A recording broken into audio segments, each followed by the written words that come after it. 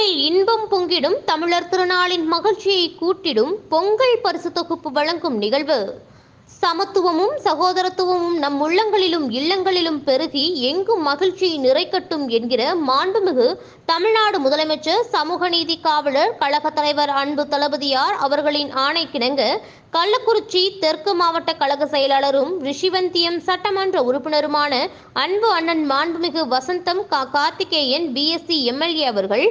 இன்று கள்ளக்குறிச்சி சட்டமன்ற தொகுதி தியாகதுருகம் ஒன்றியத்திற்கு உட்பட்ட தனது சொந்த கிராமமான சாத்தனூர் ஊராட்சி நியாய விலைக்கடையில் அரிசி அட்டைதாரர்களுக்கு பொங்கல் பரிசு தொகுப்பு வழங்கும் திட்டத்தை துவக்கி வைத்து பயனாளிகளுக்கு ஒரு கிலோ அரிசி ஒரு கிலோ சர்க்கரை முழு கரும்பு மற்றும் ரூபாய் ஆயிரம் ரொக்கம் ஆகியவை பொங்கல் பரிசாக வழங்கினார்கள்.